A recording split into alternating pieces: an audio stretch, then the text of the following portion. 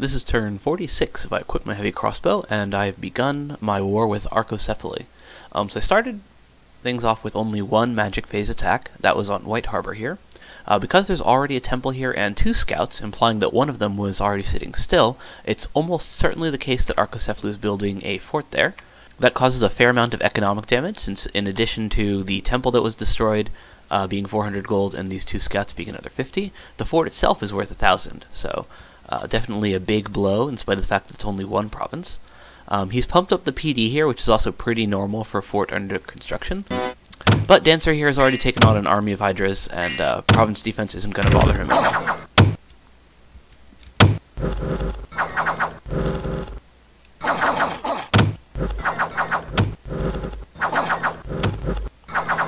You can see that even with uh, no shield, regular troops basically can't really hurt him. Um, he has an astral shield which is paralyzing them, and he has a huge amount of protection, um, both from his iron skin, his natural protection, and from uh, an additional 3 from going berserk.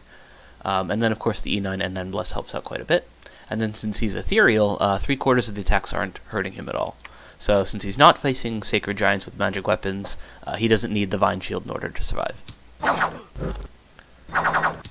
Since um, Province defense doesn't count towards the same HP route as uh, the actual troops, the two scouts standing on their own do try to stand and fight even after the Province defense is gone, and of course they die quite quickly.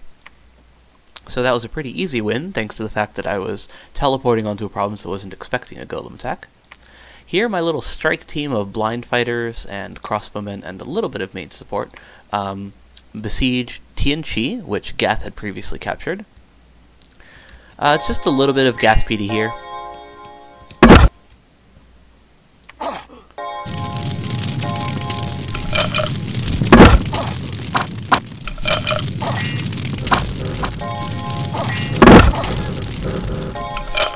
So yeah, these guys just get chopped up.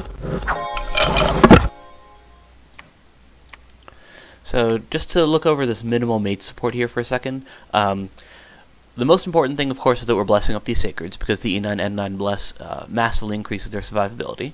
And then after that, he's casting Legions of Steel on them. Uh, that's the one buff that we're doing because it stacks fully with their armor protection, which makes up a much larger proportion of their total prot than their natural protection would be. Um, it also doesn't require any gems the way that Marble Warriors would, um, so that's going to help make them even more survivable. This guy here is doing just one cast of quickness, um, which is going to help the people at the back uh, move a little bit faster and um, get additional attacks and additional attack and defense. And then he after that he's lobbing acid bolts, which can help break enemy armor. He's reasonably far forward here, um, which is to basically prevent friendly fire or uh, make it less likely to occur, because breaking the armor of my own guys would be one of the few ways that they could die. Um, but no losses there, and they're able to siege this fort. Um, even without actually storming the castle, we already get a fair amount of income uh, just from owning it, uh, because it has such a high population, as all capitals do. In the Evergreen Forest, uh, we've taken uh, one of Arcoscephale's provinces here, uh, just fighting province defense. Um, this was the little group that was just ghouls, skeleton spam, and um, crossbows. This guy here has one earth gem so that he can summon a size 6 elemental.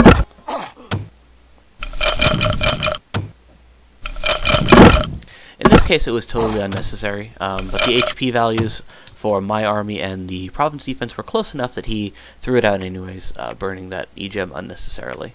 Um, but still, we only lose one ghoul, so that's nice for taking a province. Here in Fasdir, um, we actually do come across some resistance. Arcoscephale moved an army in here in preparation for attacking me, and it ran into these ghouls. In addition to the province defense, he's got these hoplites and crossbowmen. Uh, the crossbows are probably going to do most of the killing.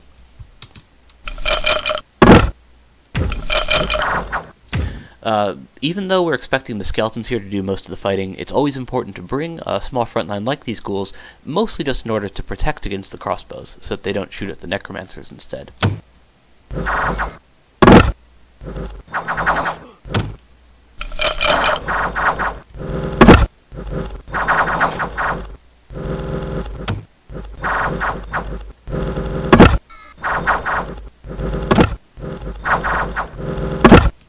In spite of having um, very low uh, base HP. They start with only 5. They have regular human attack and defense, slightly better than normal even, um, and even a modicum of protection as well. So when fighting these hoplites, which are actually fairly elite as far as uh, human infantry goes, um, they're actually still able to fight them and even hit them uh, through their shields from time to time. And uh, yeah.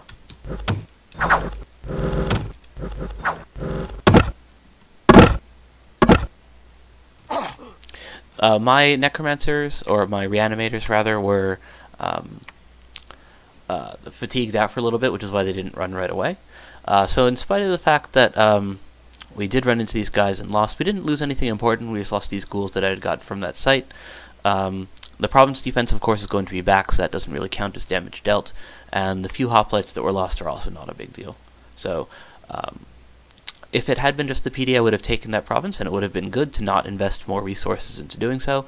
Um, but since I ran into those guys, uh, minor loss. Uh, here, I'm sieging Gas Castle. Uh, he has uh, one commander set to patrol.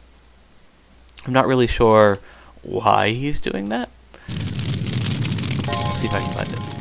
Yeah, so he's done this before, where he sent in a commander by himself. I'm um, not really sure why he does this, because you, the province defense has its own commander, of course.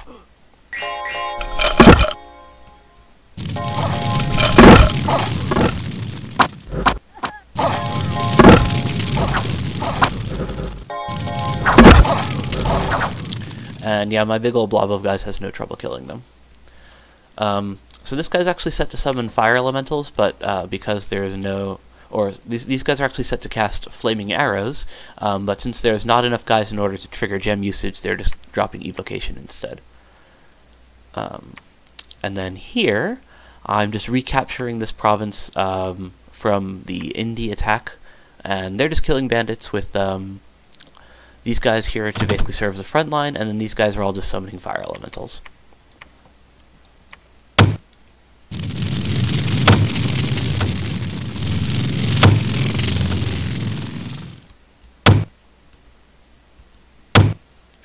Uh, the Ictiids are fairly slow, uh, which is actually a good thing in this case, because we don't want them running up into uh, melee range before the Fire Elementals get there.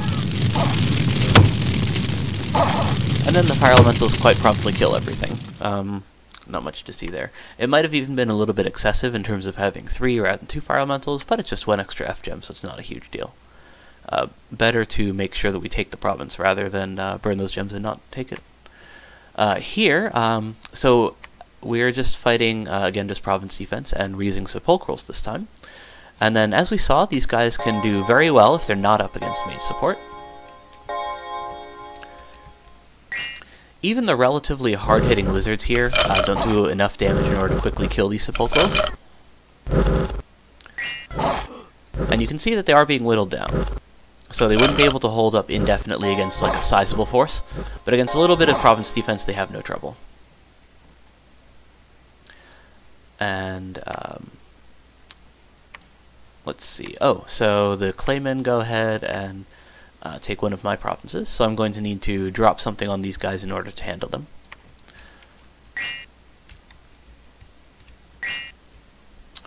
And yeah, it's, it's pretty much the same as last time, where these guys are quite weak, easy to hit, uh, but they are relatively resilient now that they've been buffed up with wooden warriors, and they regenerate as well.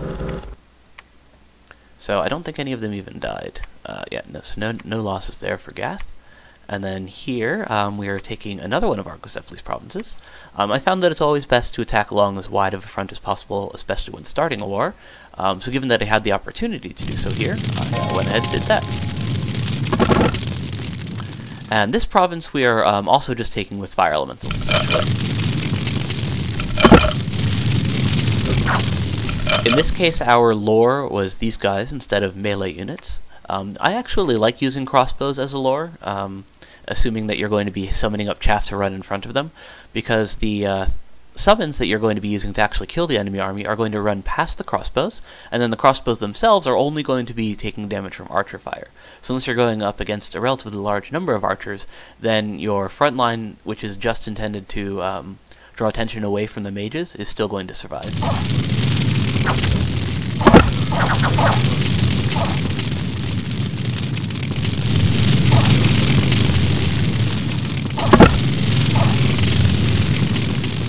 So that went pretty well.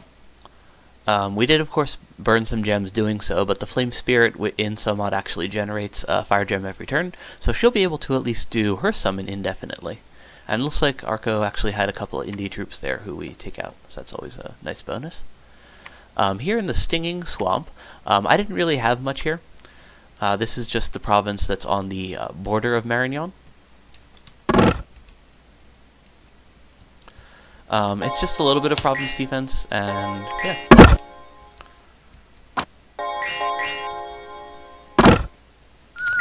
There's not much to say about Arcoscephale's script here, because it looks like these guys are just unscripted. Or they're scripted to something that would require gems. One or the other. Yeah. So, um, I guess it's just gem stuff. Either way, um, nothing really noteworthy here since I'm just losing PD to it. The only thing that I guess I'd point out is that if these elephants um, need to fight something in the center of the battlefield, like if I have, uh, say, a front lines over there, and I can then make the elephants route, then they would run right back over the archers. So that might be something that I can exploit, um, but I probably won't ever need to. Uh, it's very minimal mage support for how late in the game this is. And then here in Ivermark, uh, this is just my Tomb Oracle doing its thing. Um, in this case, he just bounces off this army quite quickly because the uh, Hydras and their fear auras can make it run away. So he's doing his long and expensive buff routine, which gets him very high up in fatigue. And then he gets that fatigue right back down thanks to his Soul Vortex and Reinvigoration.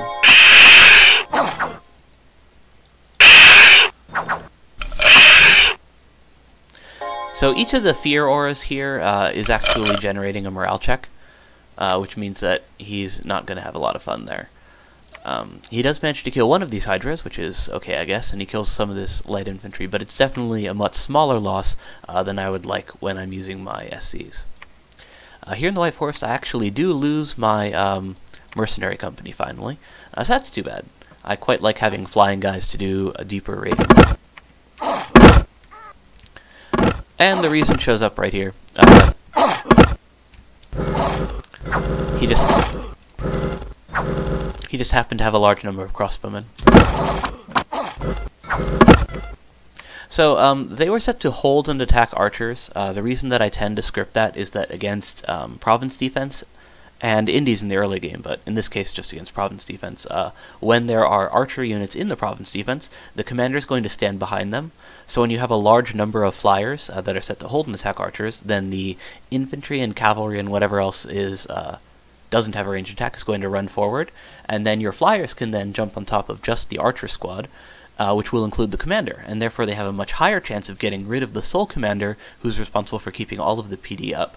So that's helpful for making sure that your flying raiders take fewer losses.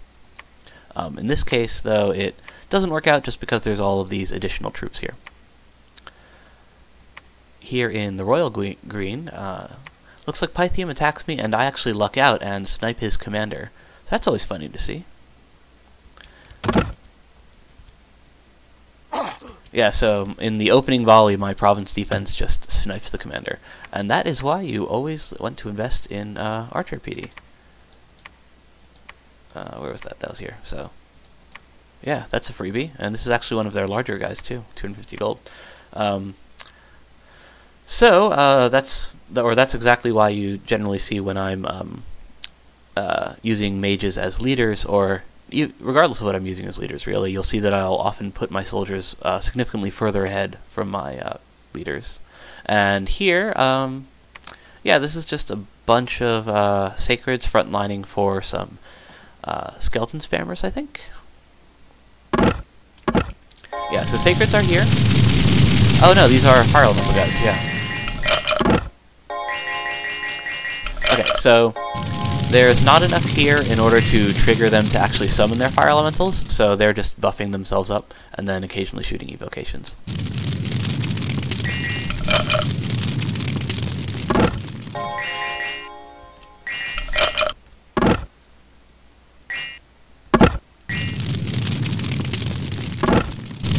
Okay, and yeah, so this is the unfortunate thing here. Okay, so when you reach a certain round number, if the uh, enemy is still alive, then gem usage gets turned back on. And because these guys are so slow, it took them way too long in order to march all the way across the battlefield and actually run up and kill these guys, which meant that gem usage was turned on, and these guys did go ahead and do their summoning. So all those gems are wasted for a battle that definitely did not merit their use. Um, so that's too bad. So now here, uh, these guys all lost, or some of them had some extra gems, but many of them spent them. Um, so I'm going to be gathering them up again right over here just to replenish their gems before I go and uh, try again to siege Ivermark here. Um, here in Small Sea, uh, tried to attack my underwater province, and it doesn't go well for him. So this is essentially just um, a showcase of the power of water elementals, which are pretty amazing. I mean, we've already seen how good elementals are uh, overall, but underwater especially, they become, or water elementals become amazing. So these are his mermen, um, which he had been uh, recruiting basically just as his amphibious MDs. And he's, I think that he's hoping that these underwater, uh, uh, that these elephants are going to be able to do enough underwater um, just by stomping whatever they come across. So all non-amphibious units have reduced attack and defense underwater. Um, even if you give them water breathing, they still count as poor amphibians.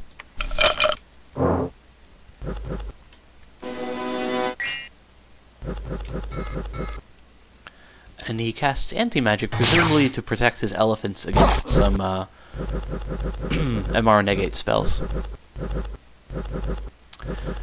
So the weakness of water elementals is that they have zero protection in all of their forms.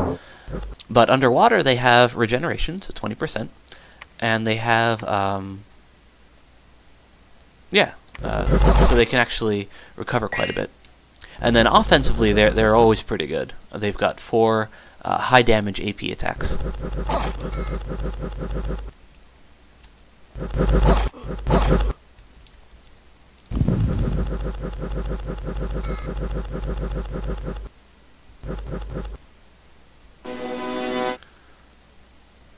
Oh, and then um, all of the nether spells, the or astral magic in general, does work underwater.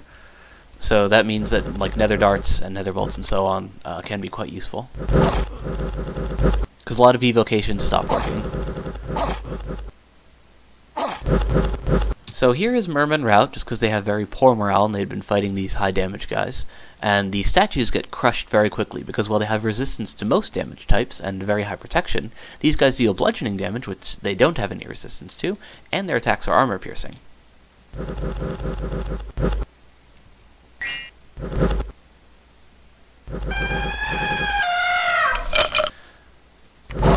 And then these elephants, uh, they seem to be in a very small uh, squad, so they also rout very quickly just from taking damage. And then because they're routing tramplers, they also crush some of uh, guys.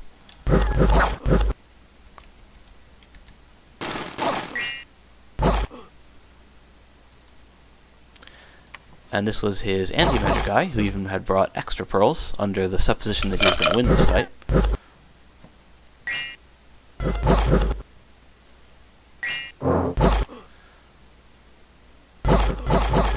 And then the rest of Arcoscephale's army uh, gets cleaned up. Um, so you might have noticed, uh, where's that, Small Sea, uh, that all of these guys died. The only person to escape was actually the one Mystic. Uh, so all of the non-commanders uh, that aren't already amphibious, um, like uh, these guys here, are actually reliant on having the commander um, give them water breathing. So similar to those hydras, the two war elephants here that escaped actually died as well. The hoplites were just way too slow to leave the battlefield because they already have only 9 move, and then underwater that's reduced further. Um, sea King's Goblet is uh, probably not going to be super helpful. Uh, it'll just help me move more guys underwater if I need to. And then Inarim, this is that whole big mage-supported army. Um, not much to say here since they're only fighting PD. Hopefully they uh, didn't burn gems actually doing so. But given that I have a huge number of um, crossmen here, I don't imagine that they will.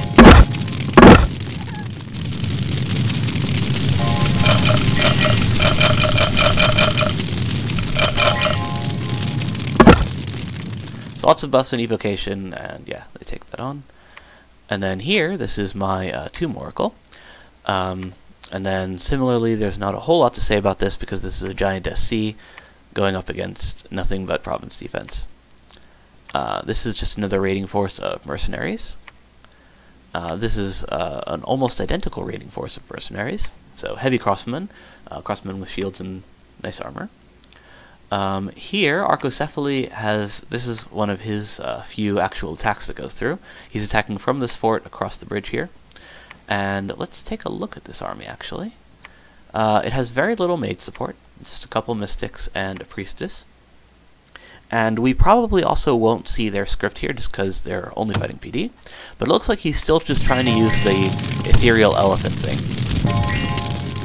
Similar to his underwater force, though, these guys are in a very small squad with no additional supporting units, which means that any damage they take is going to trigger a morale check. So it's going to be very easy to get rid of these guys and then make them run over their own troops, uh, since they have to move towards the middle in order to actually attack. So again, why you put your elephants in the center and then flank with your non-elephant guys. Here in Pythium, uh, Pythium successfully breaks out, and uh, yeah, it looks like he just chases my Tomb Oracle away with his fearsome Hydras using their fear auras. Um, but he loses a whole ton of units in the process, so definitely not something that I'm too upset with.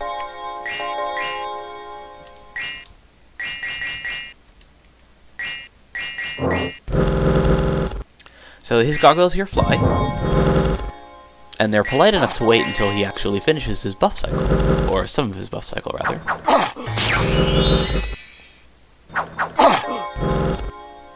And yeah, he has a Ring of Regeneration in addition to his 10% uh, regeneration from the Bless, so he gets a whole ton of HP back, uh, more so because he has Heroic Toughness increasing his HP but to a huge level.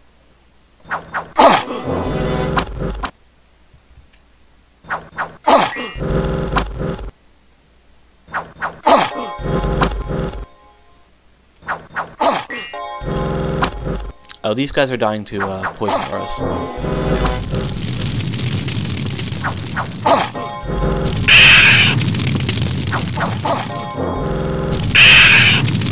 So lots of friendly fire here.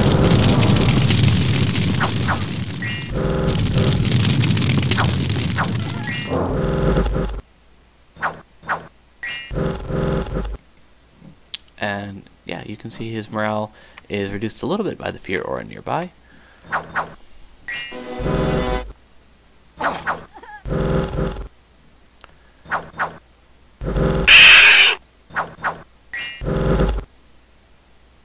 And eventually, uh, the Fear Auras make him take too many morale checks, he fails, and he runs. Um, so yeah, definitely still worth it though. Killed a ton of stuff, and I'll soon be right back on top of that capital, I'm sure. Uh, here, my Tomb Oracle, just kill some regular dudes. Uh, and then here, I take the fortress by just blowing it up with, um, or blowing up everything inside of it with a huge amount of firepower. So rather than do the uh, traditional Agarthan attrition thing, um, I'm just going to be spamming stuff at him. So since I wasn't sure what all was inside the fortress, as it turns out it's a bunch of crossbows, I was using these guys to just run right in.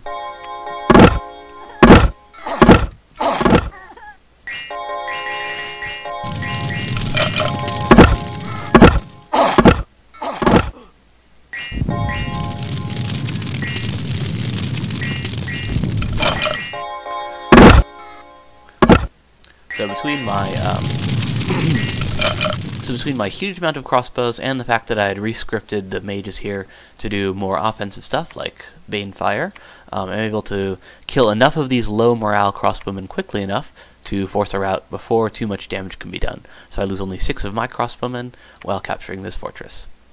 There is another battle in the fortress, which is Arcoscephale capturing Ulm's capital. So this is due to be the end of Ulm.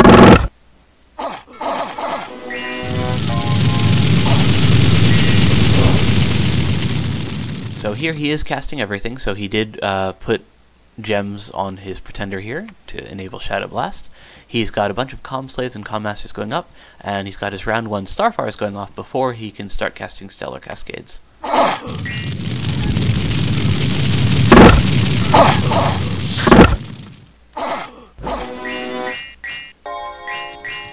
So this is the big spell. So this is what he was using his Pretender for.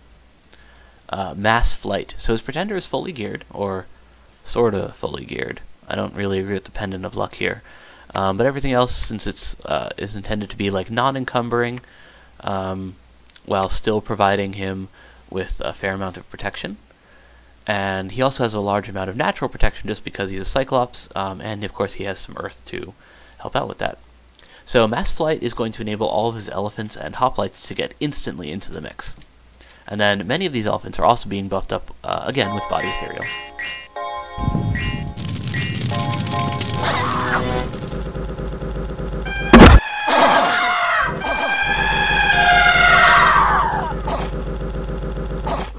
So it seems as though many of these hoplites were set to attack archers, and then a number of others were set to attack rear, and he rolled decently well. Only a couple of the attack rear guys got boxed in by the regular units here, and many of his guys are surrounding the rangers, um, and yeah, even stomping the mages.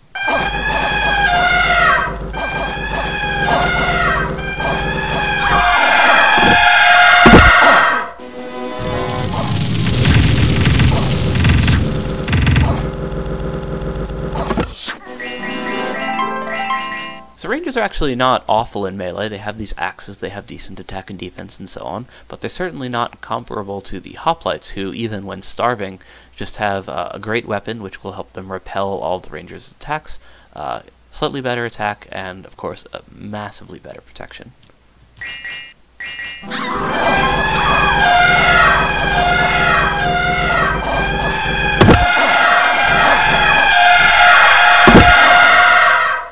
And uh, the elephants still do most of the killing here.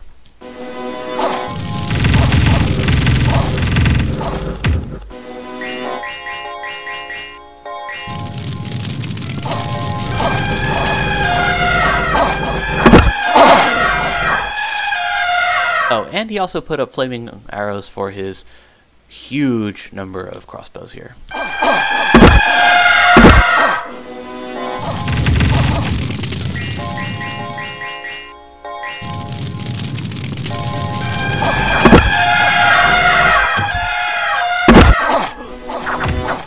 In addition to getting right into the fight very quickly, um, Mass Flight also enables his guys to reposition, so after they're finished with one squad, they can immediately jump onto the next.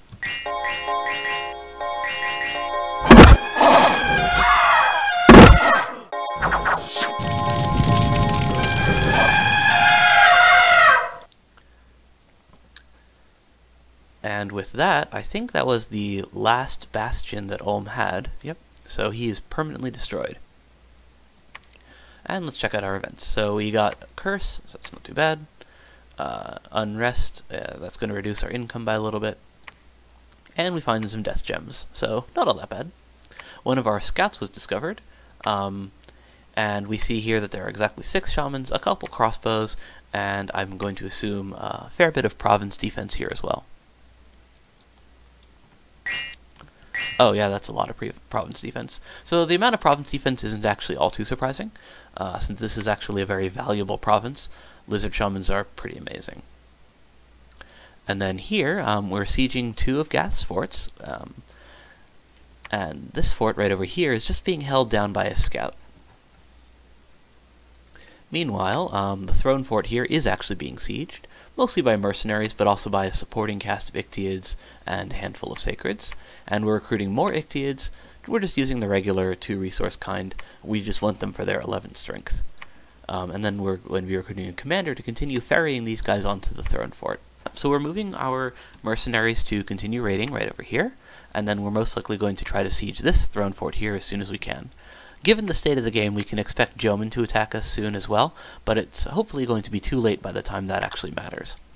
From what we've seen of this army right over here, he really doesn't have anything that can actually beat a Tomb Oracle, so I'm just going to march this guy directly at them. Um, This one is equipped with the Silver Hauberk, which gives protection from arrows, so he's actually quite resilient against even a huge number of enemy crossbowmen, and he has a little bit higher magic resistance than normal from his uh, Amulet of Anti-Magic, and from his Iron Will. This guy's magic resistance is just stacked. He is really not going to have much trouble against even like a Soul Slice spam. Um, and he's even casting Iron Will to increase that further. So the reason that he was actually given this much mag magic resistance was originally going to be to take on this throne fort right over here, but given um, Arcoscephale's attack, I'm going to have him move further in and then um, try to assist on this throne fort right over here. So this guy, um, Bobby the Bopper, has a Shade Mail, um, so he's actually going to be able to sneak into this fort right over here, and then um, get onto the throne right over here. So the reason that we're having him sneak is that I imagine that it's unlikely, um, or I imagine that there's a chance that he's going to be able to get in. And if assuming that he does, then he'll be able to sneak and attack the throne fort right over here without Arcoscephale knowing that he needs to reinforce it. So that can potentially give me an edge. Even if he does get caught, given that Arcoscephale hasn't actually shown um, a script that can deal with these SCs, I think that he still also has a reasonable chance of coming out ahead. This province right over, or this connection right over here is closed, uh, which means that I don't need to worry about him attacking this throne fort. So I'm going to be moving this army right down over here. So if this army does move up, it's going to intercept it, and um, if he instead moves it into there, they can still move back in order to cover the, the, the throne. If they um, don't meet the Arcocephalians, and the Arcoscephale doesn't move up over here, then they can also continue moving further down and help uh, invade Arcoscephale from the north. So they'll just be able to offer another front, and given the large amount of mage support that this army has, they should be able to take on just about anything that Arcoscephale can throw at me. Over here in the south, I'm actually sneaking this guy into the sea. Because he's stealthed, I can't actually see what Arcoscephale has in this province or this province. Um, so I don't know how much more reinforcements Arcoscephale has, or if he has enough guys that can actually patrol. Since this guy doesn't have a Vine Shield, he's relatively lightly equipped. He does have a Ring of Regen in order to help make up for it, but it's definitely preferable to have a Vine Shield if you're up against um, an unknown number of enemy infantry. In general, though, Arcoscephale's units are relatively uh, not hard-hitting compared to, say, what Gath hasn't with his Sacreds, so it shouldn't be too bad, and I expect that he'll be able to take on the Province defense, Crossbowmen, and Phalangites without any trouble. It's only really mage support that uh, could be a concern, and again, Arcoscephale's scripts haven't seemed to be able to uh, or Arcoscephale's armies haven't shown any scripts that would actually respond well to an SC.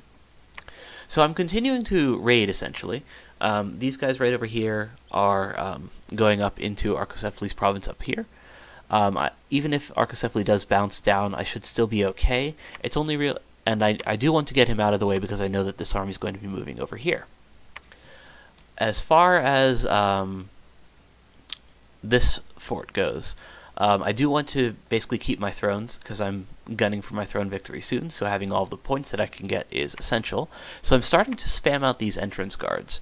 Uh, these guys have a castle defense bonus in addition to their slightly above average strength, which means that each of them counts as slightly more than three regular humans uh, when it comes to holding up a fort.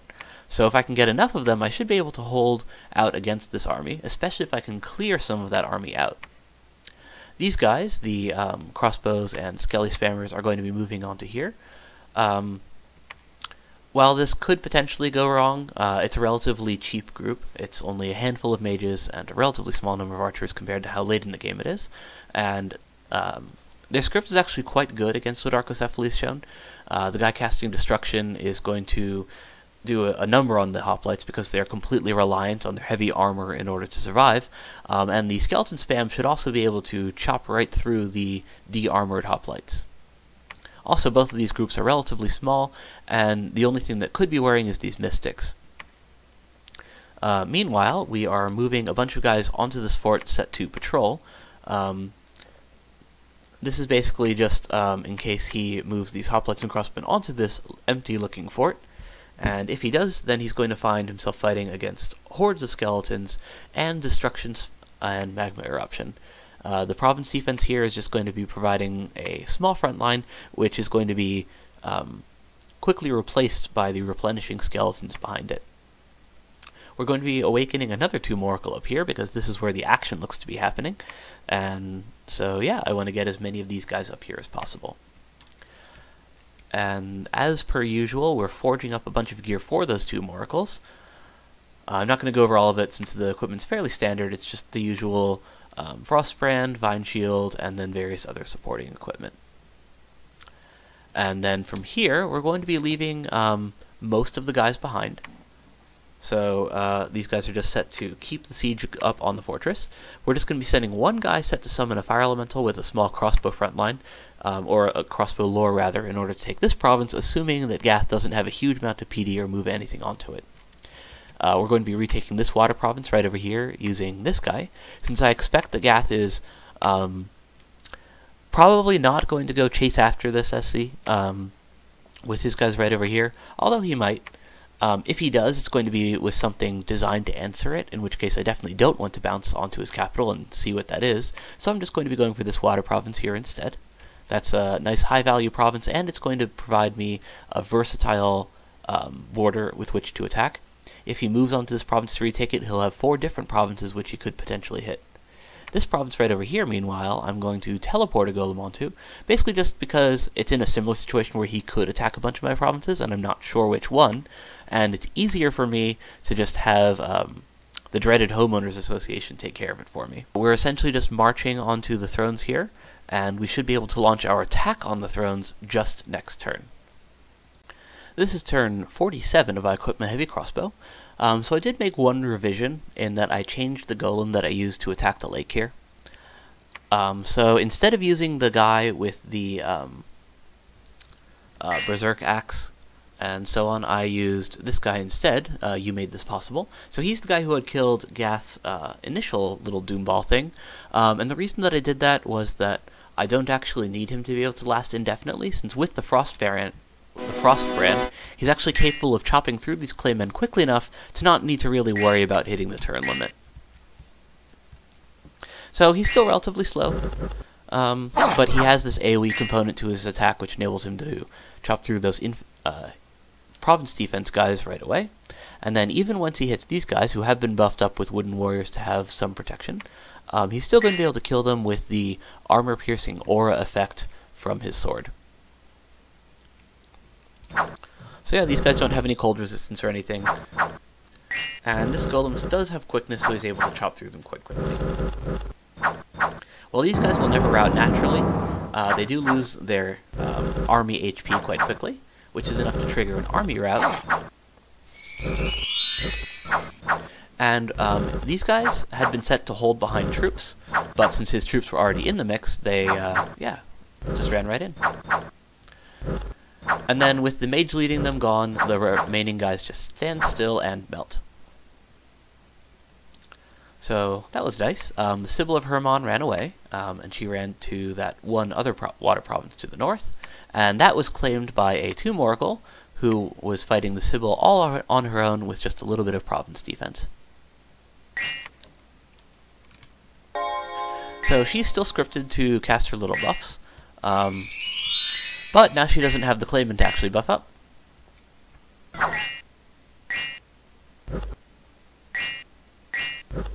And then since she doesn't have any uh, friendly units of her own, she's actually not going to have um, an HP route from the province defense running away, which means that she's going to stand quite still, casting her spells until the um, Tomb Oracle makes it all the way across the battlefield and gets to kill her.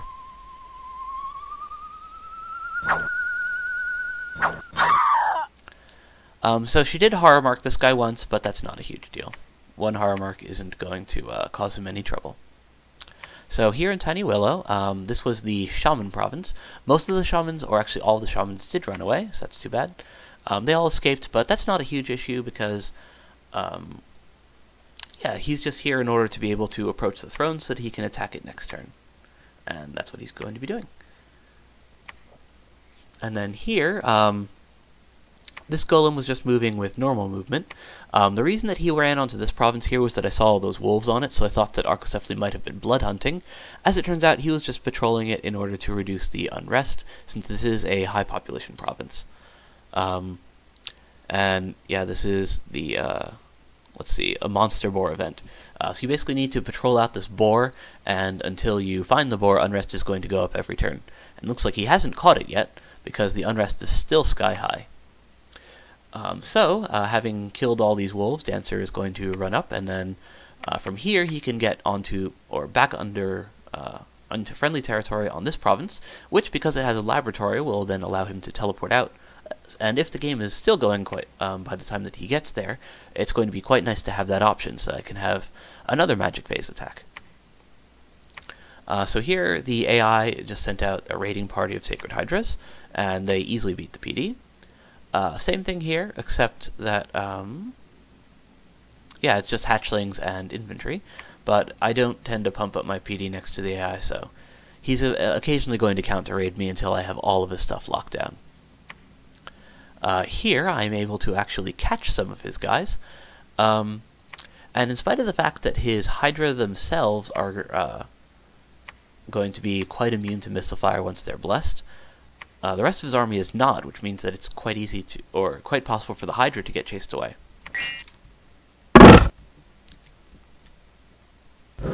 Oh, he didn't bless them at all. Okay.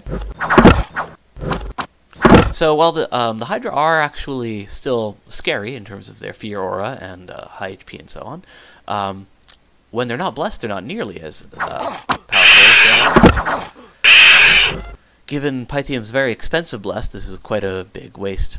the Hydra survives, but, you know. So, yeah, given that it's the AI, he messed up um, the scripting, and the Hydra does survive, but the province is claimed. Uh, here in Dovin, um, Okay, so this is my fort getting under siege by another raiding party. So it seems he just kind of like burst out um, from here. Um, but I'm, uh, I'm going to be breaking siege with this guy right over here. He's just leading a bunch of blind fighters. Um, and we're going to be bringing a couple of fire elementals along with, and that should be plenty to burn these hydras. Yeah, so we've got a bunch of fire elementals, and then um, some blind fighters to frontline. And then meanwhile, we are going to be putting these guys on top of Ivermark, and many of them um, have now been uh, they've recollected their fire gems, so I'll be able to spam out fire elementals in case there are any hydras patrolling. Uh, if not, it's just going to be fire elementals burning through the PD, um, and potentially any skeletons and such that might get summoned against them. Uh, so here in the Lake of God, yep, that was the Sibyl dying. This is just um, a crossman continuing to raid, and they are now going to march onto this throne. So there'll be yet another throne under siege. Here, my sepulchrals actually do great. Um, so let's check out this fight. It's interesting that Arcoscephale actually has mage support here, but still doesn't actually answer my undead at all.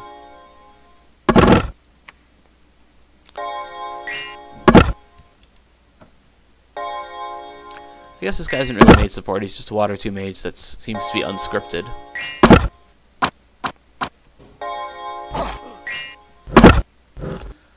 And then while he does have some crossbows, um, the cold aura here from these guys is definitely doing some work.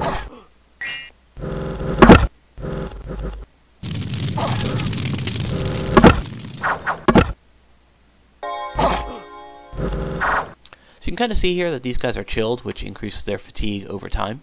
And then they also have a fair amount of fatigue just from being heavily encumbered, and also from being in the cold aura, which causes fatigue damage at the end of each round.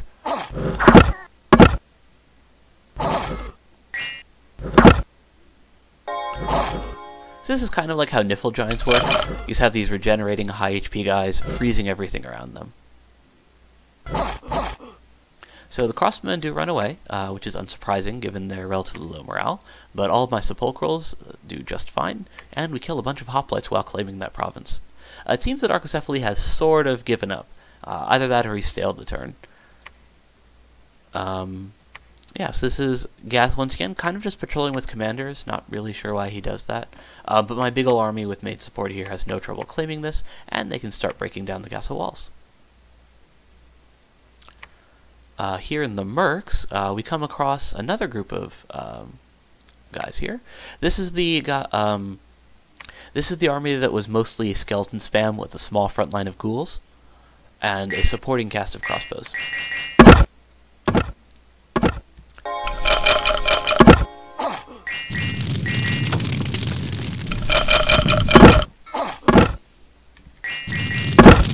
So my crossbows had been set to fire archers, um, and given that he has his mystics kind of balled up with his own crossbows, uh, that can be pretty good. Unfortunately for me, the fact that he casts Body Ethereal also means that his mages and crossbows are going to be a little less likely to actually die. Um, on the other hand, it seems that his mages are, like, might be unscripted or something, because the Body Ethereal thing that they're doing just isn't really a uh, game-winning move, it seems.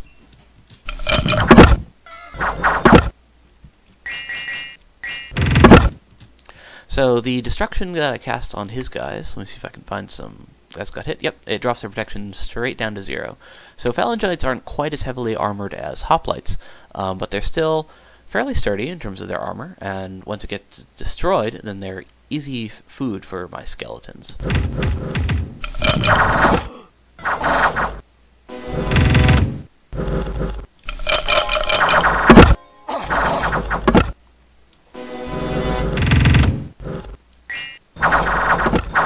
So I'm not sure if he scripted these fire elementals or he just, just put fire gems on and forgot about them.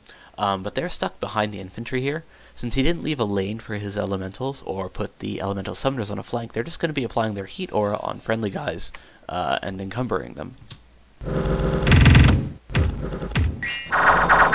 Or not encumbering them, fatiguing them.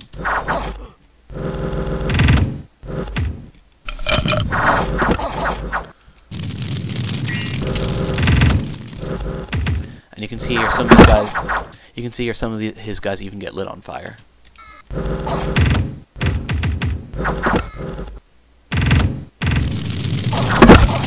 So some of his guys actually do make it to the flank here, um, but luckily for me, his army is already routed.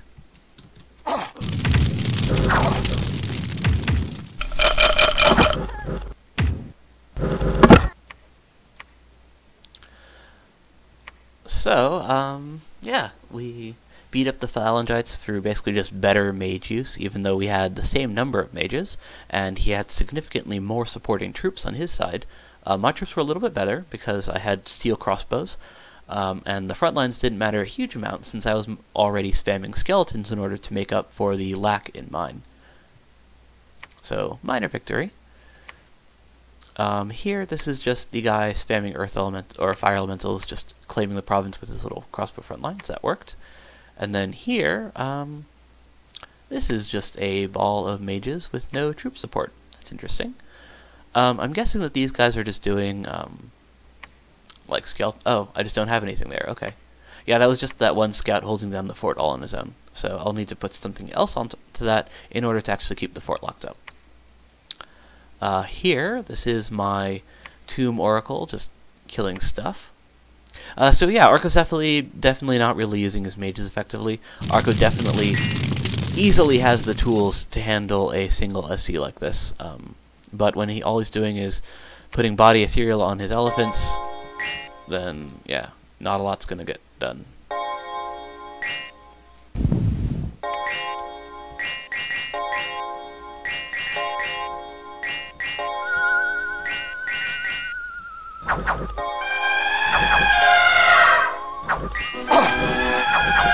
Yes, the elephants were out almost right away. Um, and yeah, this guy doesn't have any trouble.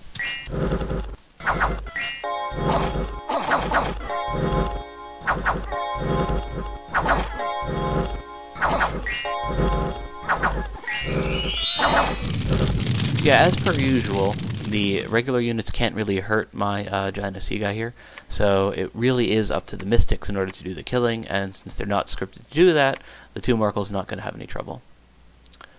Um, and then similar story here, except unfortunately I lose my uh, Woodhenge Druid.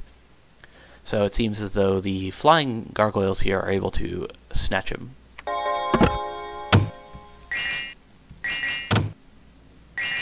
Oh, yeah, he was just here to site search, so I think I just left him unscripted. Yeah, so he gets jumped on, that's too bad, um, but the Tomb Oracle has no trouble handling everything else. And yeah, we kill a Thurg in the process. Here in the Stinging Swamp, we have what looks like an actual battle. Okay. Um, similar story here in that there's just not a lot of mage support from Arcoscephale's side. And in this case, he not only doesn't really have them scripted right, he also just doesn't have a lot of them. So I have more mages. His bugs do kind of get on my backline here, so that's that can be a problem.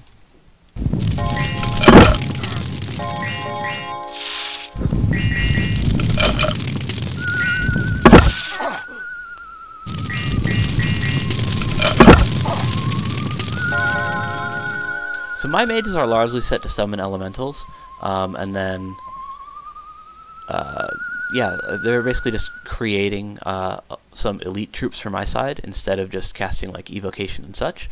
Although these guys, uh, my water mages, had been actually set to not cast them right away. The reason for that is that I want his guys to get closer in order for my elementals to mostly start fighting all at the same time. So that's what those initial acid bolts were for. They were basically just to try to um, waste a turn, and potentially do some damage in the process.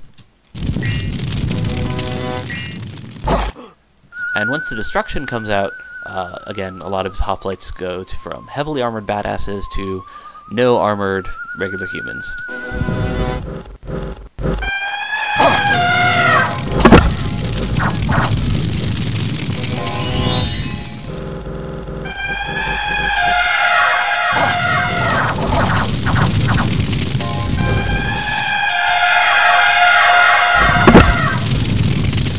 Their armor is gone, these guys are just wimps, and uh, yeah, after most of their squad gets destroyed, they rout.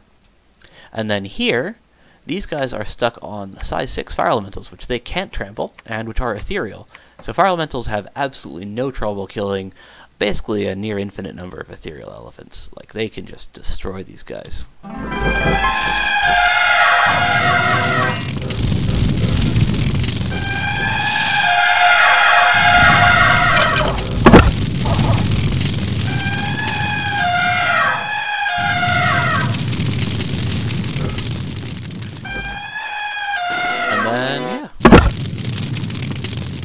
That was a very straightforward win.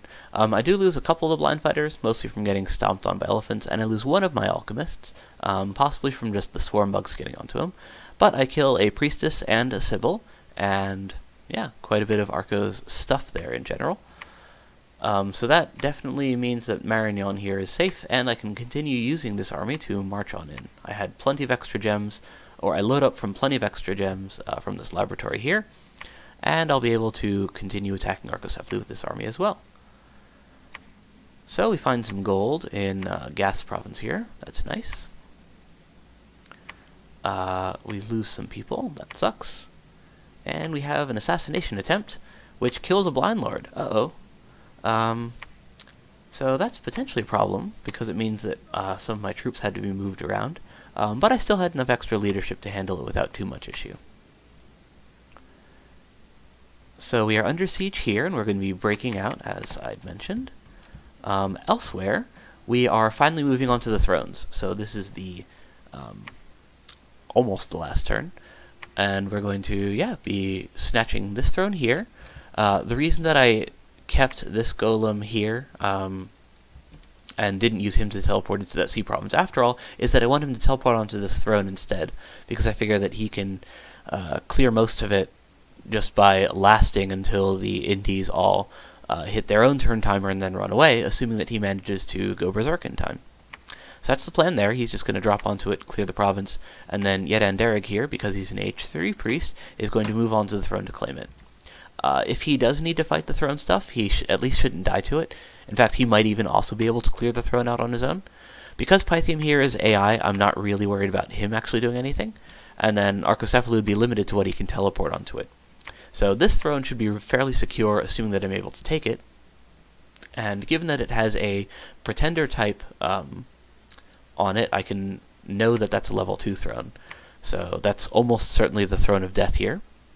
Um, I currently have 3, 5, 6, 7 points out of 11 required to win. So I'm going to be getting 2 here. I don't know what these thrones are, but since I know that this is the throne of Earth, and I know um, from looking at the Thrones of Ascension here. Oh, yeah, um, Arco hasn't even claimed all of his thrones. So, yeah, I'm not sure what exactly these thrones are, but um, four throne points is already enough to win. So I'll basically be winning from this throne and then Arco's two thrones here. In addition to that, I'm going to be um, sieging down this one in order to get an extra point, and uh, sieging down this one as well. But yeah, I'm essentially only going to win the game if I can actually take and hold all three of those thrones, in addition to the th to holding onto all of the thrones that I already control. However, if things do go wrong, I'm going to um, yeah, still essentially have extra backup thrones that I'll be able to storm through given time, but this gives me a chance of ending the game even more quickly. Um, right, so this army is moving on to here. This guy is here to siege this fort.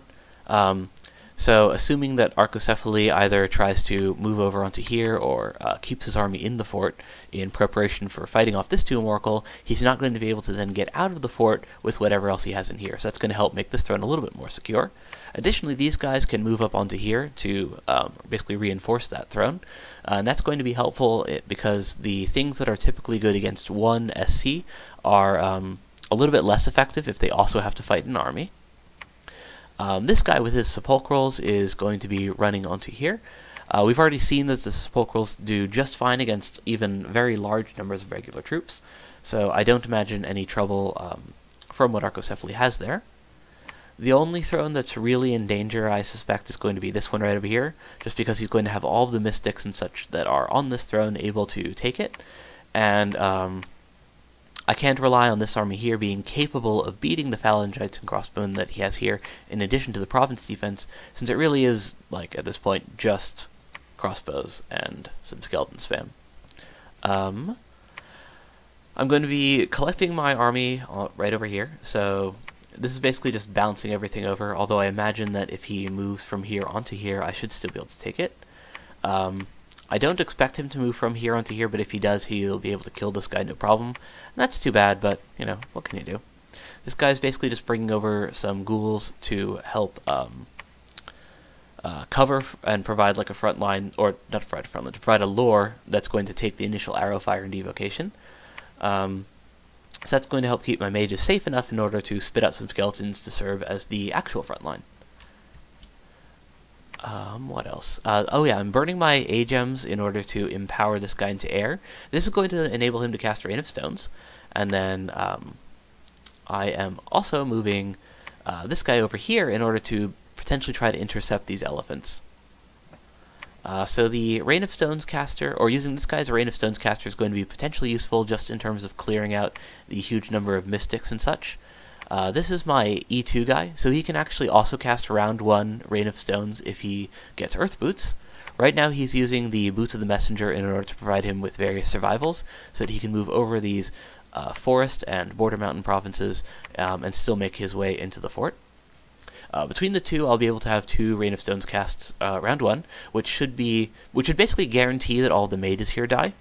Um, then, uh, if necessary, I can teleport my pretender in onto this throne, and with no mystics, uh, the pretender is going to be very safe. So I know for sure that he has absolutely nothing that can kill a monolith aside from uh, guys casting magic duel, uh, which given that the pretender is only S2 is a huge vulnerability.